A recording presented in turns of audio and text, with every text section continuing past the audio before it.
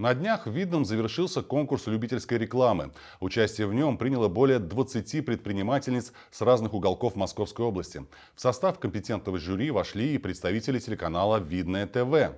Необходимо было презентовать ролик о своем деле, используя, что называется, подручные медиасредства. Никаких профессиональных съемок и монтажа.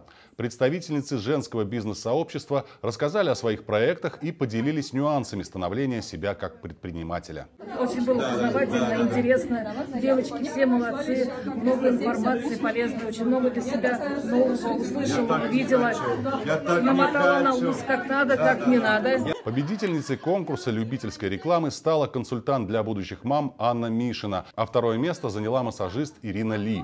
Ей депутат и генеральный директор Видновской дирекции киносети Павел Русаков вручил сертификат на съемки в новом телевизионном проекте «Видное ТВ. Путь к успеху». Передача о сильных, целеустремленных и красивых женщинах-предпринимательницах. Можем помочь вам медийно как-то развиваться, можем попробовать и поучаствовать в каких-то программах муниципальных. Важное дело полезное и необходимое. По мнению организаторов, подобные конкурсы и встречи помогают женщинам почувствовать себя увереннее, а начинающим предпринимательницам дать стимул к развитию своего дела.